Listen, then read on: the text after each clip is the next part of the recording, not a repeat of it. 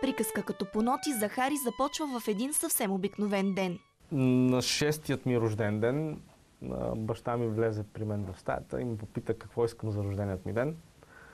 И поради незнайно каква причина, аз просто му казах, че искам цигулка. 20 години по-късно отново съм с нея. С цигулката си завършва музикално училище Любомир Пипков. Своя връв кариерата достига в Амстердам, където е концерт майстор на Младежки европейски симфоничен оркестър и солист.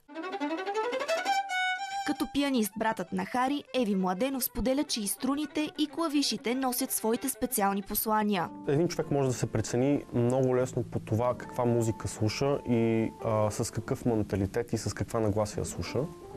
Много е важно това да се разбере, че циганската музика е една от най-докосващите на Балканския полуостров и не случайно тя се слуша не само от роми, но и от българи и всякакви други етноси.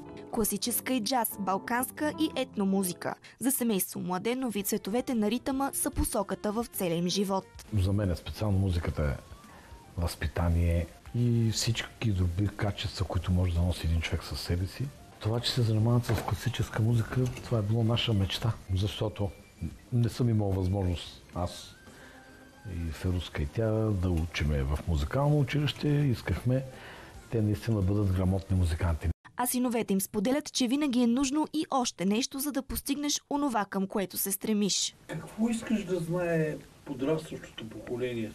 Да се трудят и да знаят, че колкото и талантливи да бъдат, талантът не винаги е достатъчен, за да постигнеш успехите си. Успехите си постигат и с доза упорство и инат, категоричен е Хари Младенов.